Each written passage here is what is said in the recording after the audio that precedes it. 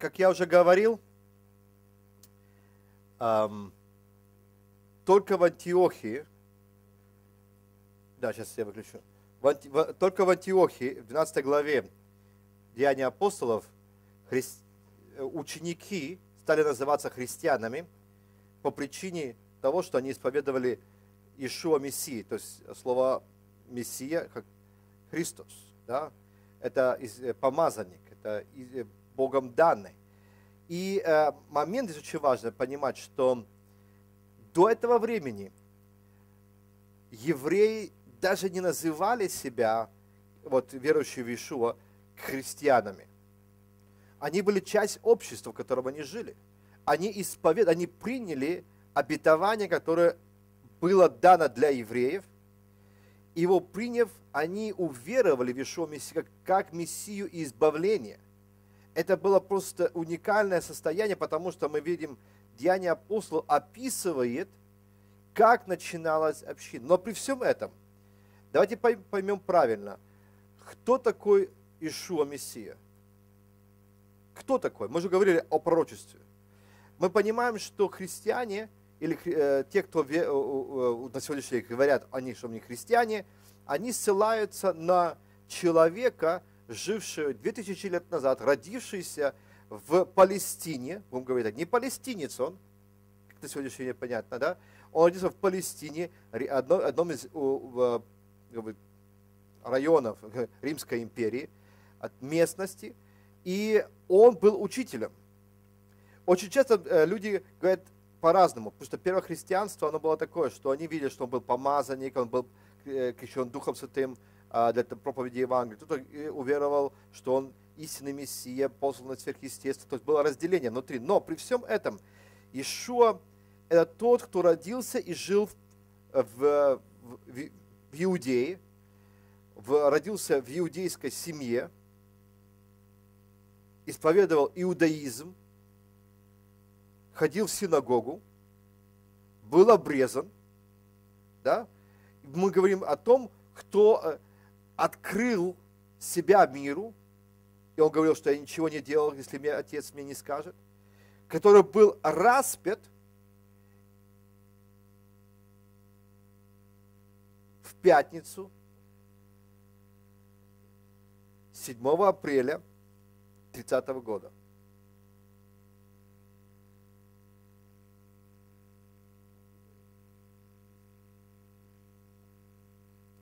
Девятого апреля он воскрес из мертвых. Откуда знать? Очень просто. Если вы возьмете праздники пасхальные по еврейскому календарю и отсчитаете их обратно, вы поймете, когда все случилось. Так же самое можно посчитать. И так же самое можно посчитать, когда Иешуа в каком э, время говорил от э, Дух Господа э, Бога на мне, когда ему дали свиток Торы, тоже можно посчитать.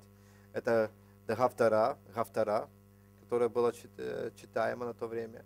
То есть есть принципы в иудаизме, которые ты э, следуешь.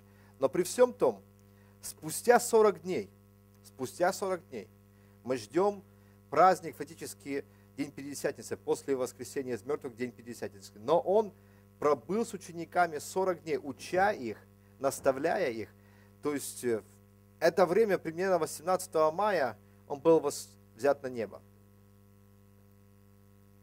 А 28 числа был праздник Шаваот. Особенный праздник Господень, на который, как мы говорили, приходили паломники, еврейские паломники со всего мира. 28 мая. Мая. Шаваот – это праздник Пятидесятницы.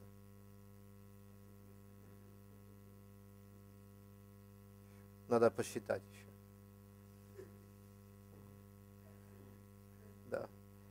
да. Поймите, это праздник веселья, радости, а, Божьего благословения, благодарности перед Богом. Это праздники Господни.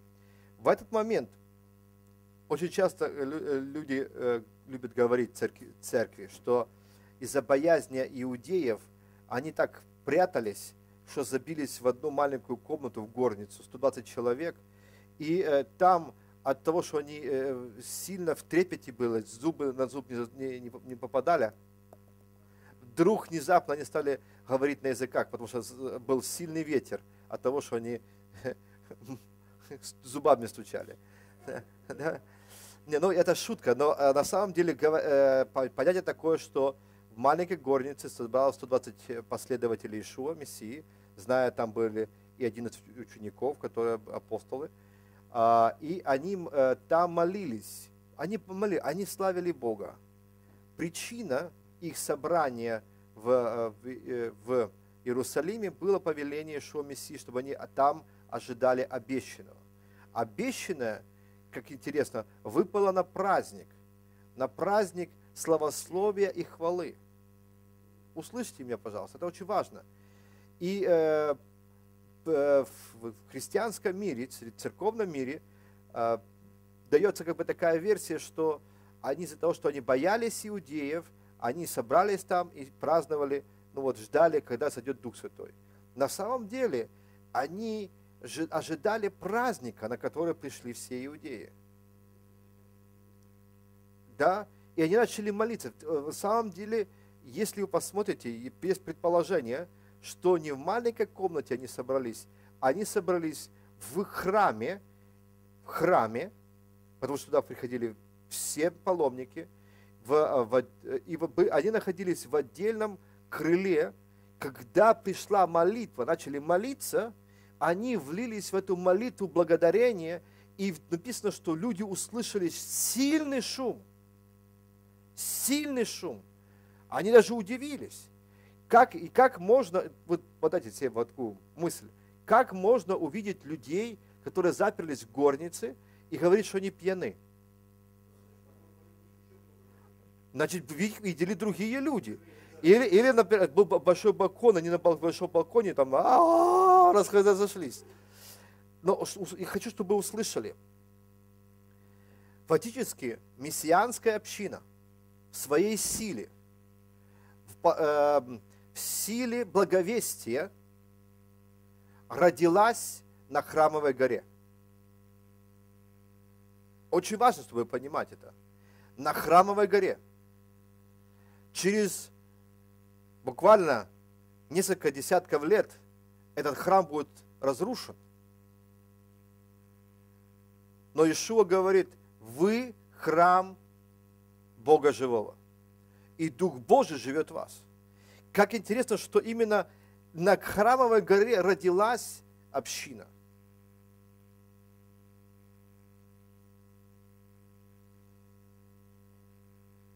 Об этом говорил Ишуа они получили силу. И эта сила именно была как бы началом вот общ, именно развития общины через благовестие. То есть они получили силу, мы Симон вышел и проповедовал, и в то время э, присоединилось 3000 человек. Именно вот момент это очень важно, потому что здесь во второй главе Деяния апостолов. Я прочитаю вам эти места. А вы сейчас специально. Итак, твердо знайте весь дом Израиля, что Бог создал Господом и Мессии Его Ишуа, который вы, которого вы распяли. Услышав это, они умилились сердцем и сказали Симону и прочим апостолам, что делать нам, братья, мужи, мужи, братья? Что делать? Услышав эти слова, они говорят, что же нам делать? Симон сказал им, покайтесь и докрестится каждый из вас во имя Ишуа Мессии для прощения грехов и получите дар Святого Духа. То есть э, э слово крещение, здесь используется э, слово миква, да, то есть во, э, э, э, ритуальное очищение но также слово твила, которое говорится о погружении. И он говорит, что же нам делать? Он, и Петр или Симон говорит, делаем как всегда. Как при всяком э, деле, когда мы приходим издалека, потому что паломники, когда приходили в Иерусалим, они, а, перед тем, как приступить к священнодействию или приступить к, к, на храмовую гору, они должны были пройти очищение, омовение. И это э, обряд, он всегда присутствует в иудейской культуре. И э, э, Симон предлагает им одну вещь сделать, которую они понимали, ну, как, э, как дважды два. Он, то есть совершите шуву, совершите покаяние, обратитесь от своих дел, да? Каких? О том, что вы ожидали Мессию, и Он явился. И то, что вы увидели, это обещание Богом, которое было дано через Иоиля.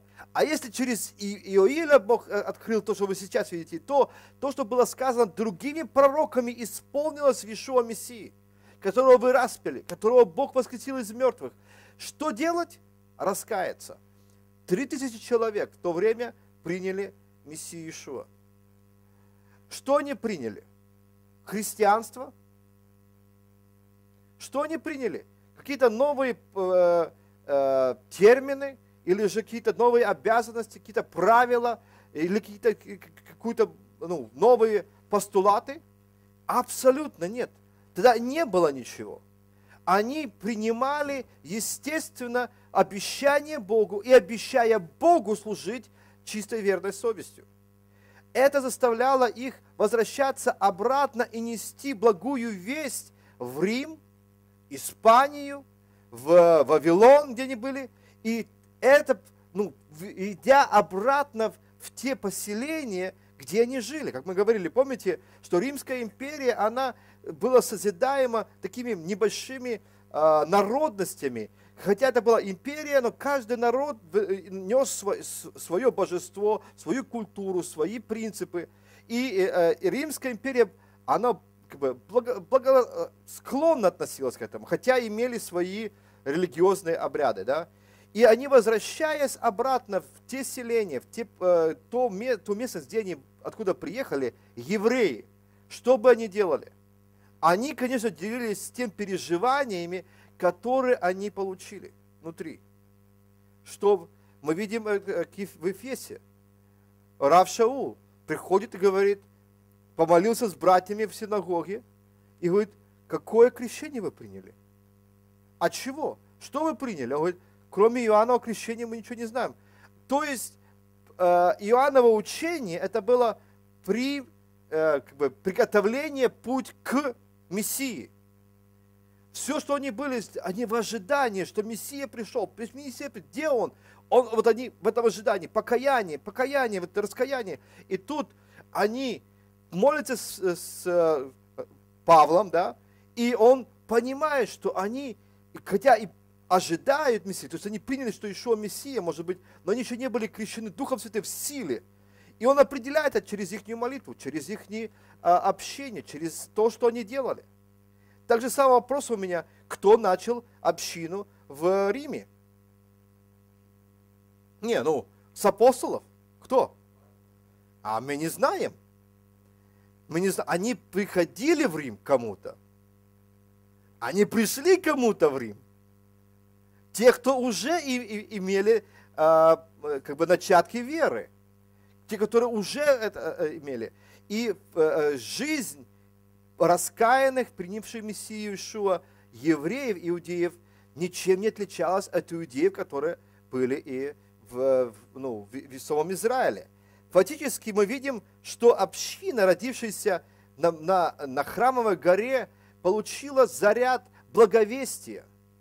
То есть нести благую весть о переживании, которое сверхъестественное, и переживании принятия Мессии. В то же время мы можем говорить, что община начала свое действие, начала э, жить внутренней жизнью, поддерживая друг друга. Они себя не, не отделили от общества э, израильского. Они ни в коем случае это, этого не делали. Мы видим, что существовала молитва. Помните, одно из э, таких вот первых понятий, что э, исцеление хромого – кто и шел в час молитвы? Какой, и какой час молитвы был? Девятый час молитвы. Девятый час молитвы Симон и Иоанн и шли куда? В храм помолиться. И секундочку, интересно, что вы там делаете в храме? Если мы говорим о, о таком резком отделении, вот это иуде, иудаизм, а это вот уже христианство, да, вот, нач, вот Ишуа начал новое, э, ну, новое движение христианства такого, да, и тогда должно быть четко, э, мы вас не принимаем, мы стали новыми совсем. Они зачем-то и шли. Они шли на молитву. И вот в этой молитве, когда они шли, люди исцелялись. Если Бог был противником э, храмовых обрядов, да, и, и тех законных, законных таких чувств, которые имели люди, там, э, э, основной молитвой для евреев в то время была Амида. Амида. Это молитва. Она означает стояние. Вы заметили, что иудеи не молятся на, коленях? Замечали, нет? А амида переводится как стояние. Стоя ты произносишь молитвы.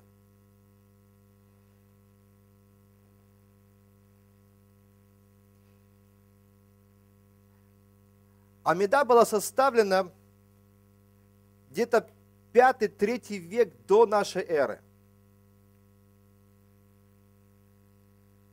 Амида, которая, э, э, ну, как бы, принципы, которые было в, э, утренней, дневной и вечерней молитве. И до сих пор они остаются в иудаизме. То есть было, мы называем шахарит, это утро, утренняя молитва. Минха – это у нас дневная молитва. Марив – у нас вечерняя молитва. И во всех этих молитвах существует принцип Амиды. Я понимаю, что я сейчас вам говорю такие слова, вы потом это поймете. Послушайте внимательно. Великое собрание иудейского народа, там было э, служить, говорить, учителя, они составили принцип Амиды, принцип молитвы. Каким были? Принцип молитвы было всегда, начало молитвы было с благодарением, благословен Бог, наш Царь Вселенной, да, Владыка Вселенной, и заканчивалась молитва тоже благодарением. Это принцип. До, до разрушения храма э, записанных молитв, конкретно записанных молитв, которые сегодня мы имеем, э, у нас в Талмуде, извините, в, эм, в Сидуре. В Талмуд это как бы уже э, учение, которое мы уже потом имели сам Сидур, которые записаны в Сидуре, он уже и разнообразный он есть. То, что мы имеем, записанные молитвы, они начали образовываться уже во времена Талмуда, после падения храма, для того, чтобы сосредоточить э, фокус евреев к э, цели. Но фактически молитва не имела установленного текста не было установленного текста до разрушения храма.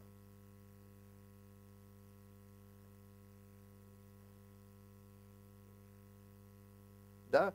Но а принцип, система была. Например, Ишуа взял хлеб, возблагодарил, преломил и раздал. Принцип Амиды. Благодарение Богу и участие в этом. Потом он спрашивает ученики его, да, научи нас молиться. Научи, то есть сделай, что нам говорит. То есть принцип мы знаем. Потому что в храме, помните, был, человек стоял э, фарисей и мытарь. И фарисей как молился. Там же принцип-то есть, да, а на, э, э, как бы сути, как бы записанной молитвы же нету. И, и мытарь, сборщик налогов – тоже есть принцип молитвы, Богу, обращение к Богу, благодарением, а потом э, ты, ты исполнялся, то есть внутренности говорил Богу молитвы. После разрушения храма, как не, потому что не было уже приношения жертв, не было за что и как, народ согласился в том, чтобы создать именно вот позицию Амиды.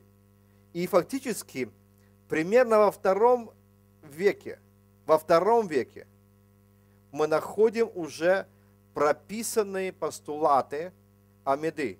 Амида – это стояние, я говорил, и там есть 18 молитв, и 19 было добавлено туда.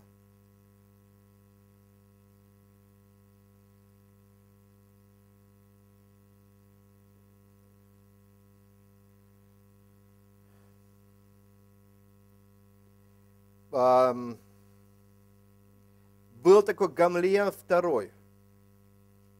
Гамлиэль второй. О нем мало у нас истории о нем, но это был один из учителей. Гамлиэль. Зафиксировать текст общего, общей молитвы.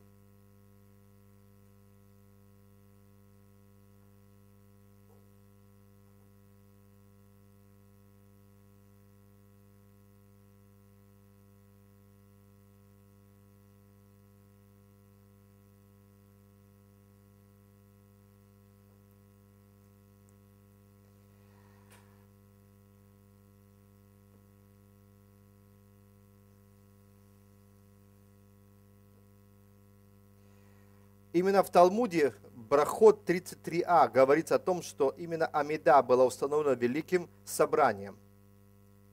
Но не было еще структуры. То есть, вернее, структура была, не была прописана.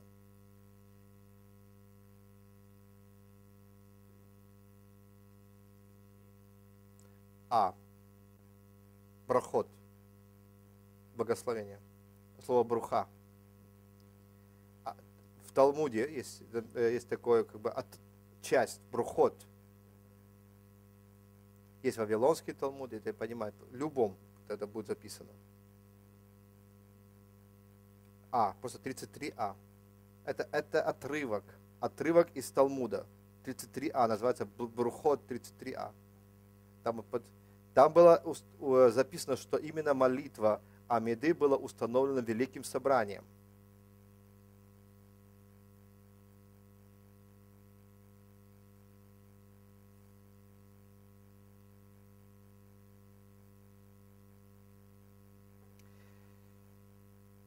В эпоху, э, до эпохи вот, э, Тананеев существовал запрет молиться по установленному образцу, любому. Слово Тананеев – это число. То есть, да, Тананеев.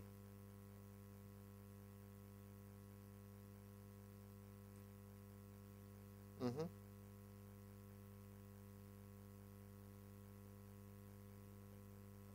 изучать, учить, то есть изучать и учить ней Число. То есть не было, нет, это просто это слово означает тананей на, на иврите, означает как бы вот э, число или учить, или заучивать. Как бы до, до этого времени нельзя было, нельзя было заучивать молитвы. А, теперь, а теперь уже они заучиваются. Теперь учащие, да, их нужно учить. Я говорю это потому, что вы, вы, вы поймете, что мессианская община была свободной, они, но хотя они следовали позициям, которые были в народе, они были свободны, молитва была свободна, они молились э, э, не по обрядам. И мы понимаем, что это э, очень важная часть частью было э, молитвы было шма. Слушай, Израиль, Господь Бог, Бог один есть. Часть молитвы. Это уже, э, как говорится, пост э, храмовая молитва такая, утвержденная уже. Она, она существовала, но она была часть, стала часть Амиды. Чтобы здесь стало четко, что, зачем и как.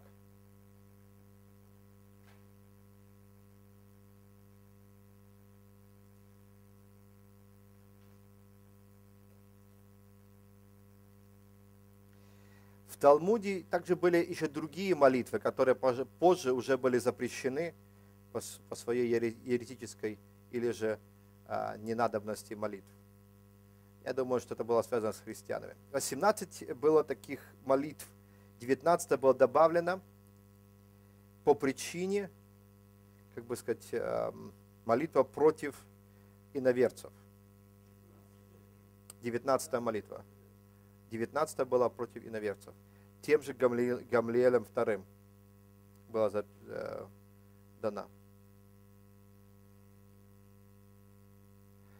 Мы, вы должны понимать, что принцип был, люди, люди молились, и, и многие евреи, верующие в Ишуа Мессии, находясь в синагогах, молились этими молитвами до второго века.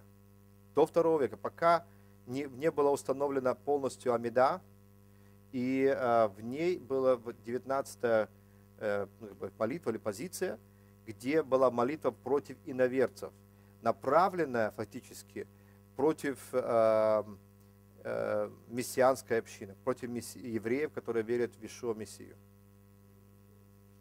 Да-да, типа вот этот момент.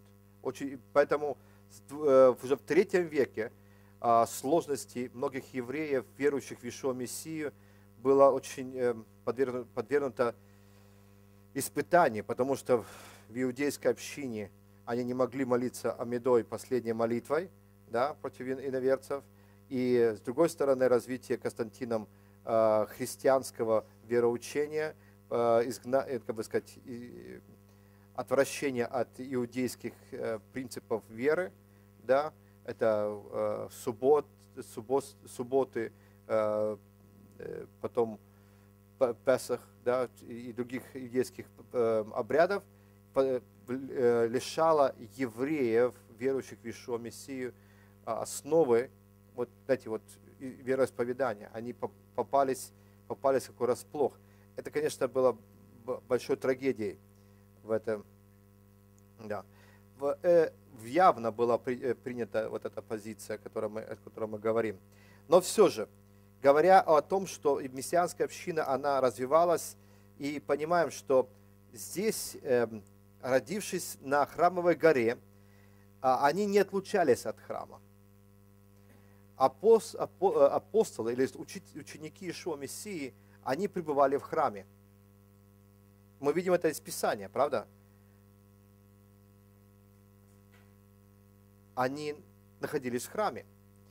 После написано, написано после молитвы, например, эм, в четвертой главе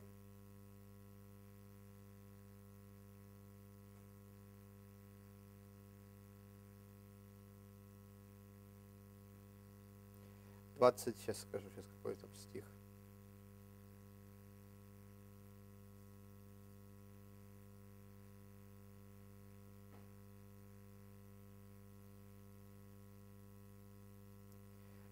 Там они, это первое гонение, которое было на них. Их взяли же э, на храмовой горе, да, братьев, и запретили им говорить о, о Мессии. Фактически они пренебрегали это, э, этим, но молитва была их такая сильная, как бы не по Амиде.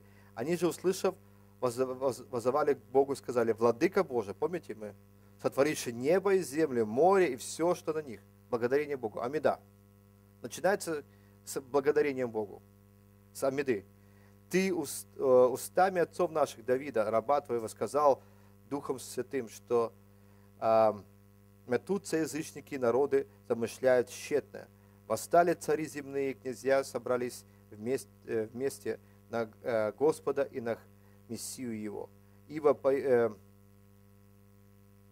ибо поистине собрались в городе сем на, святом, на святого Сына Твоего Ишуа Мессии, помазанника Твоего Ирод и Понтий Пилат, язычники и народа Израиля. Что делать? То, чему быть. То есть э, они начали говорить о том, что Твоя рука это сделала, все это должно было произойти. Ныне, говорит, возри на угрозы их и, и, и, и помилуй. Другими словами, они, если посмотреть на молитву их, построение, они начинают потом благодарить опять что ты сделаешь это, ты опять.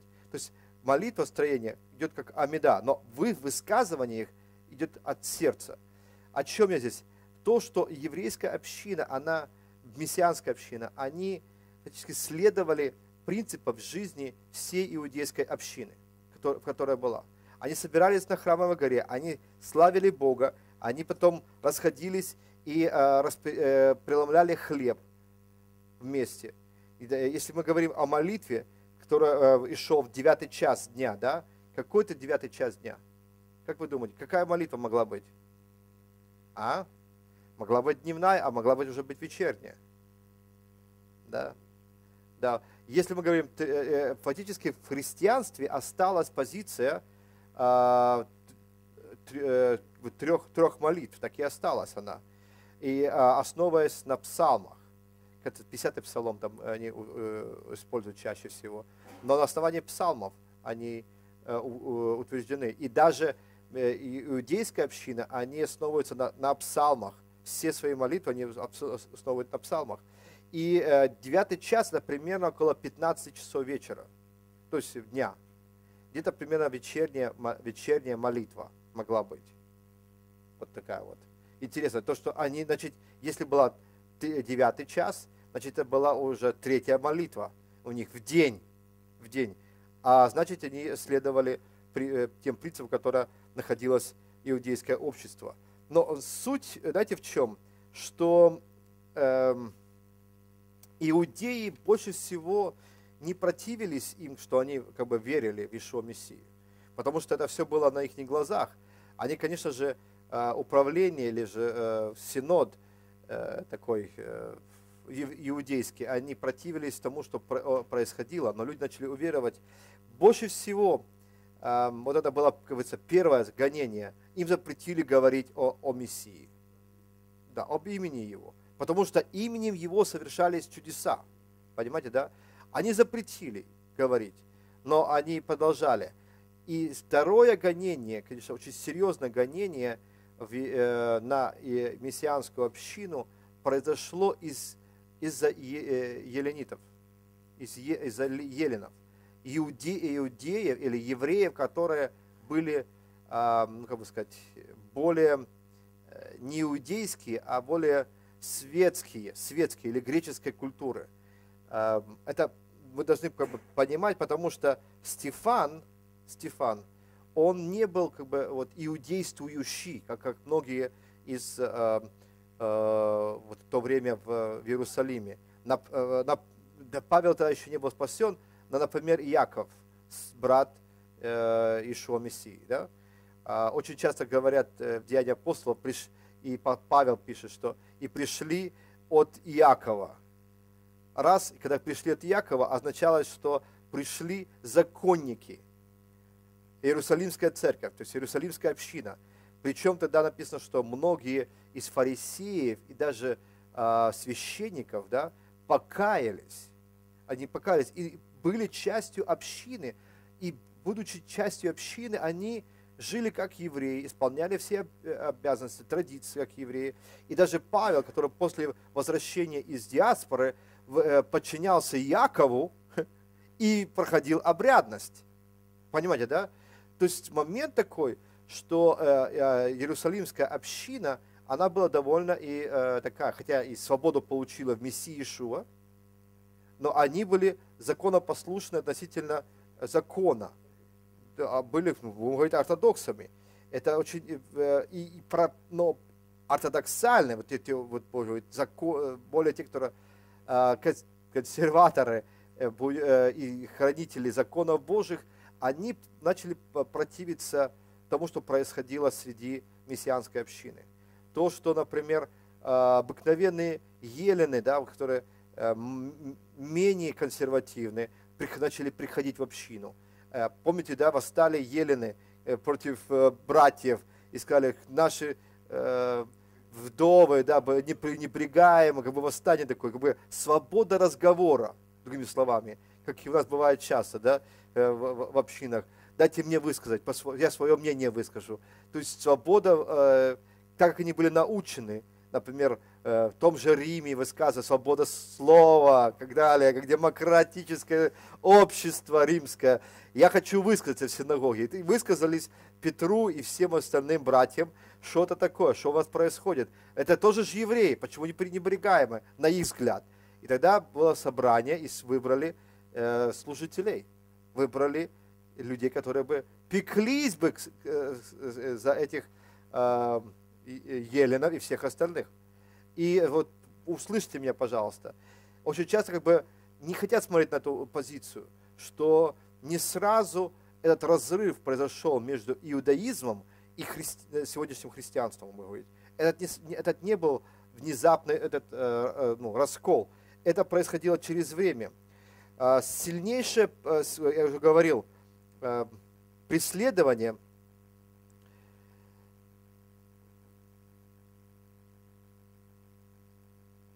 началось, когда вот начали еле, ну, больше еленов приходить в общину. Да, вот. И мы видим, что вас, э, Ирод взял под стражу Иакова, брата кого? Иоанна да, и отсек ему голову. И видя, что это доставило удовольствие кому?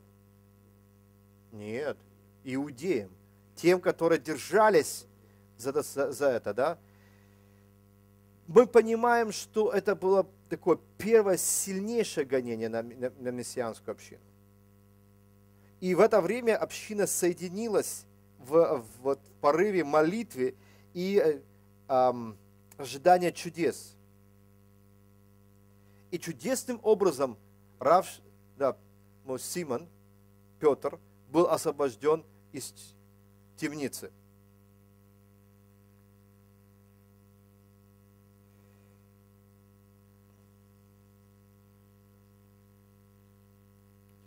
Примерно где-то в 40-45 году уже нашей эры из-за вот этих э, событий, и вот этих, которые произвели вот э, эти погонения. Многие рассеялись. Слово рассеялись, уехали туда, куда, э, откуда приехали. В Испанию, э, может, э, тот же Рим, тот же Вавилон и так далее местах. Рассеялись туда. Но жизнь мессианской общины, она продолжалась. И мы видим, что они начинали формировать внутреннюю позицию относительно бедных – а, позиции а, вот, э, помощи друг другу, которые взяты были у э, садукеев. Либо, либо, можно сказать, э, Есеев, извините, Есеев. У Есе, группа Есеев, то есть мы говорили, да, они, они делили, вот было общество, которое хотя были отделенные такие вот, они все равно делились, было общество, и они как бы приняли эту позицию. Почему была такая позиция взята у первоапостольской общины? Они очень ожидали второго пришествия Мессии. Сверхъестественно. Они просто понимали, что Ишуа ушел, он был взят, и он сказал, что я скоро вернусь. Поэтому а, они продавали свое имение, они делились а, и поддерживали друг, другу, друг друга. И второе, второе гонение заставило общину немножко как бы, а, ну, пересмотреть позиции, честно, на самом позиции пересмотреть. И они, многие рассеялись. Даже, можно сказать, сам Петр, Симон, он с этого момента стал, говорит, миссионером, нести миссию. После этого он встречается с неевреями, да, после этих вещей. И главенство взял в руки Иаков – даже в иудейской культуре его называют Яков Мученик. Его убили в Иерусалиме, сбросили со стены. Даже в иудейских э, трактатах его э, чтили. Почему? Потому что он был весьма богобоязненным. Так и назвали его праведник, Яков праведник. Какие были черты общины в то время –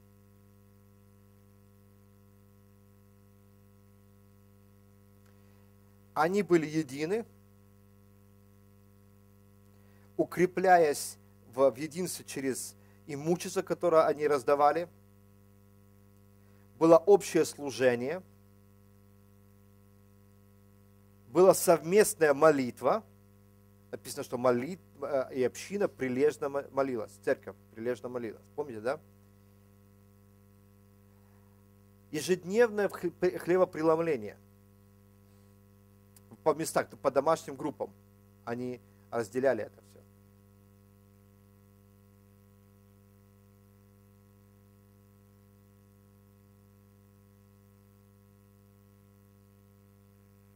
Они осознавали свое призвание, предназначение.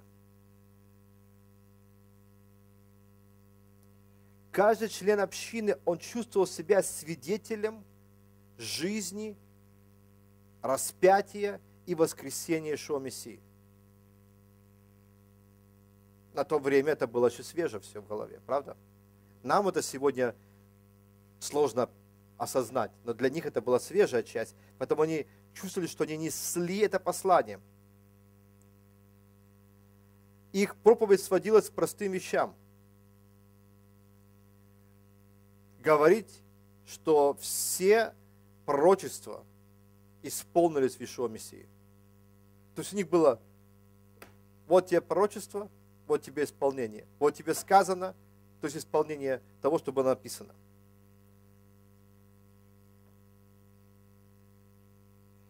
Община жила таким напряженным ожиданием второго пришествия.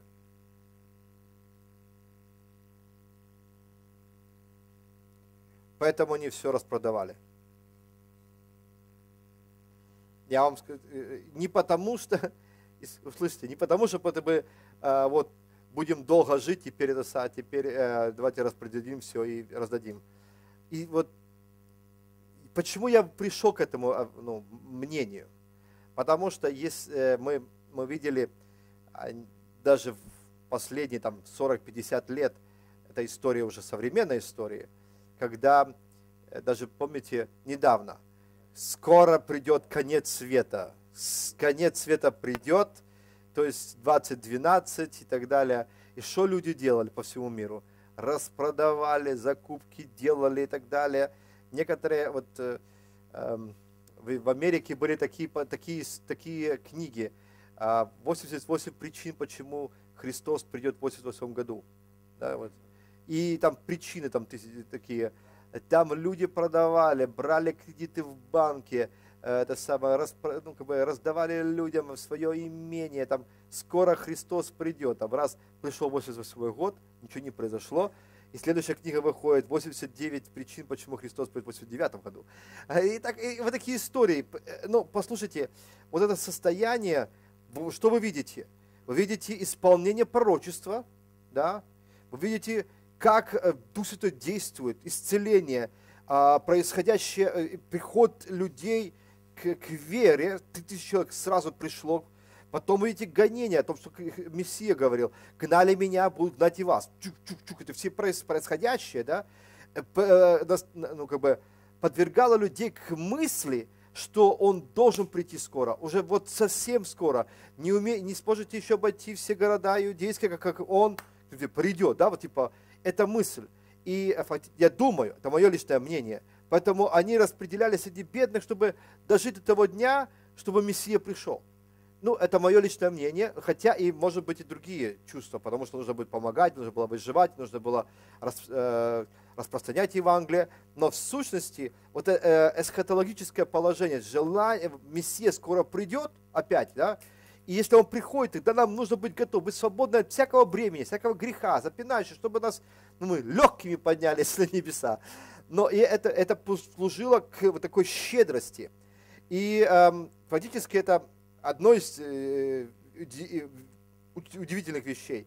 Обильное э, управление Духом Святым. Община э, была э, водима Духом Святым. Очень сильно действовали дары внутри. Помните, когда пришли, пришли два человека, которые распро... на словах распродали все свое имение? Анания Сафира, да?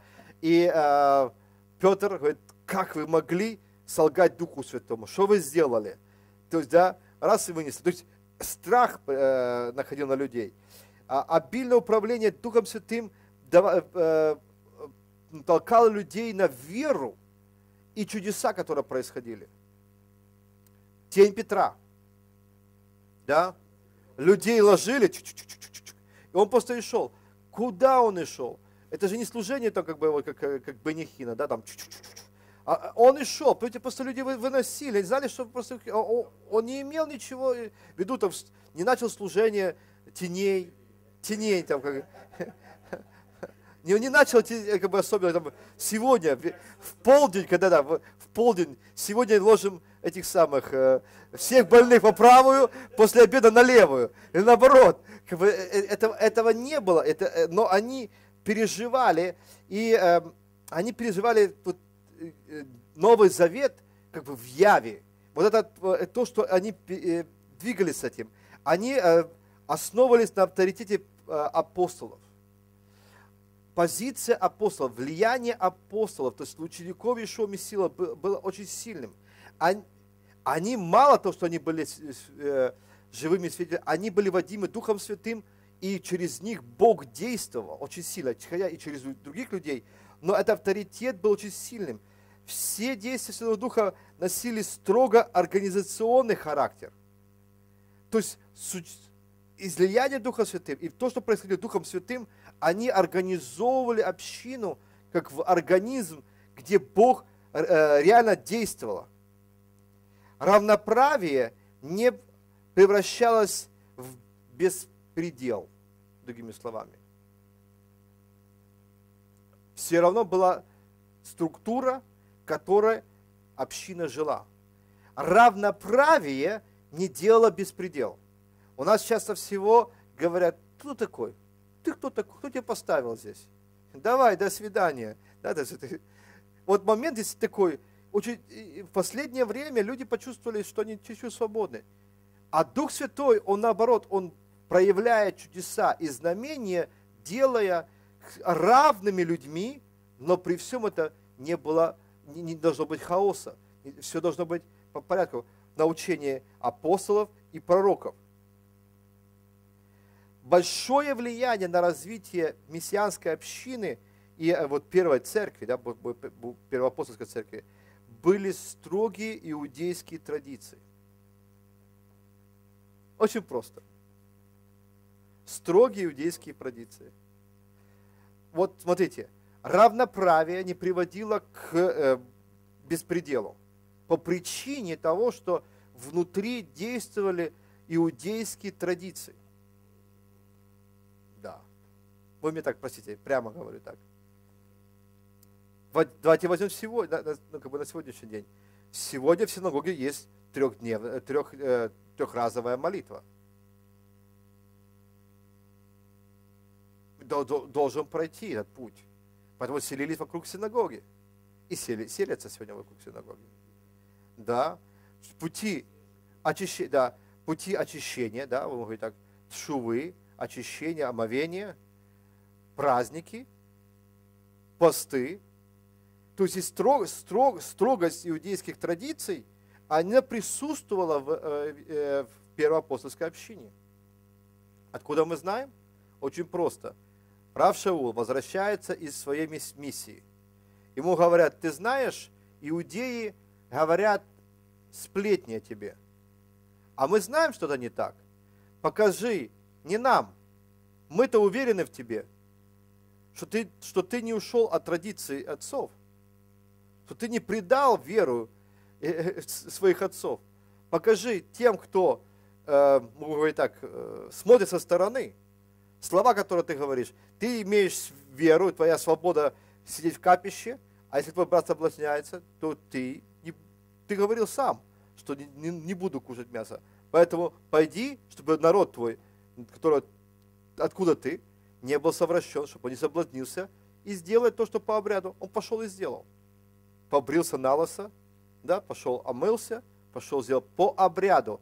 И вот эта обрядность, она имела свободу, потому что во Христе, в Ишуа Мессии мы свободны, да, но при том она руководствовала всей общиной. Такие моменты, когда мы, мы были в Эфиопии, мы побывали в еврейской э, общине – Бет Израиль. И э, там мы пришли, к, мы пришли к...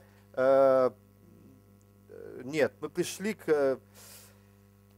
председателю общины, будем говорить так, главному старейшину общины, и э, э, дом, там где собрание было, потом они показывали э, все э, как бы там э, вещи, которые там происходили. И мы нашли там, где кухня. А за, э, возле кухни за забором сидела женщина, сидела женщина, как бы все. И э, как бы там наши гости, там, которые мы были, они там что-то хотела сказать и там поздороваться с ней, типа, ну, американцы такие, а, да, да, да, поздороваться. Она такая, ча, не трогать, не трогать, не трогать меня, только не трогать. Э, и сразу ей говорят, она во времена очищения своего. Все. Ей, э, да, давай, ей еду давали так вот, подали, она пошла взяла. Вот так, прикасаться к ней нельзя. 7 дней она должна э, быть в, в изоляции. Это как отдельно это самое место, но с ней не, не прикасаться. То есть эти традиции остались. Вы скажете, ну, это самое, как бы старый век, все остальное. Послушайте, есть моменты, которые нам нужно научиться, нужно ну, применять. Очищение, омовение. Вот, например, Раньше такая позиция была, да, вот мы замечали, мойте руки перед едой. Зачем? Ну, чаще всего-то, чтобы не было грязи, все остальное, чтобы чистые были. Но мы знаем в традиции, если ты сегодня сядешь с иудеем кушать, и ты не помоешь руки, о, э, и взявший хлеб, он чаще всего не будет с тобой даже разговаривать. Но есть, которые более свободны, они на это не будут э, обращать внимание – но они пойдут и помоют руки, помыть руки. Мы были в Зимбабве, перед любой пищей приходит э, сестра, женщина, да, льет э, воду, омываешь руки, вытер все, только тогда можешь прикоснуться к хлебу. Нормально, правда? Это нормально. Но вопрос именно община жила этим. Мессианская община жила этим, эти моменты. Неразрывная связь с иудаизмом. Это был один из характерных э, как бы, таких особенностей общины 30, 40, 45, 60 до сотого года примерно. До сотого года.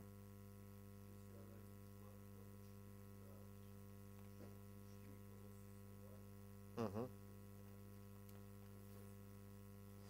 А, здесь, здесь вопрос, момент, есть больше того, причи, при, эм, вопрос к, к Ишуа был, почему они вообще едят, да, немытыми руками, вообще, да.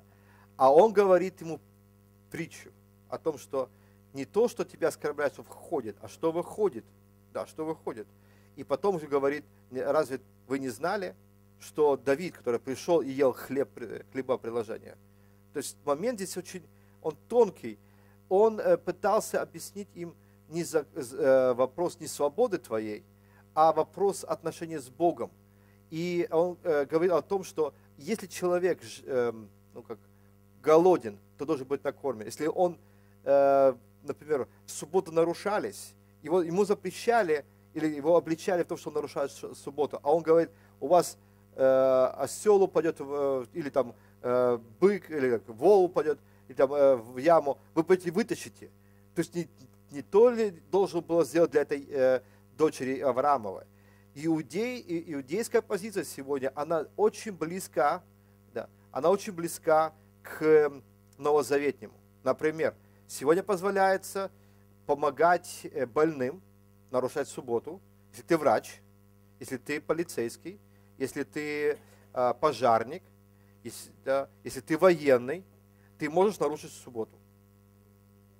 Ну, я просто говорю о, о, о иудейской, именно э, традиционной, традиционной, э, ну вот, э, консервативной, может, как, э, ортодоксальной ну, общины, да, вот общины. Потому что Израиль, он очень разношерстный. Но именно там позволяется нарушение ради спасения человека – если вы уйдете назад, то э, этого не было. Поэтому Ишуа говорит, эти вещи должно было спасти. Если э, сам иудаизм, ортодоксальный иудаизм, он прошел много изменений, и если так вник, вникнуть в него, в, э, в любовь к ближнему, любовь к врагам и так далее, очень сильно изменилась и очень, очень близки к и новозаветным позициям, э, э, которые говорил Ишуа Мессия. Хотя в свою очередь они будут говорить, а Иш, вот тот же Ишуа, он взял из наших, э, наших э, учителей, Гамлеэль и так далее. Да. Ну вот, и э, как бы такое, христиане соблюдали э, часы, установленные в молитве, ритуальное предписание закона Моисеева, мы видим это в Павле, и таким образом никакого противостояния или противоречия иудейству, иудейскому образу жизни не было и не наблюдалось. В мессианской общине первого века никакого не было противостояния, либо а, противоречия иудейскому образу жизни не было.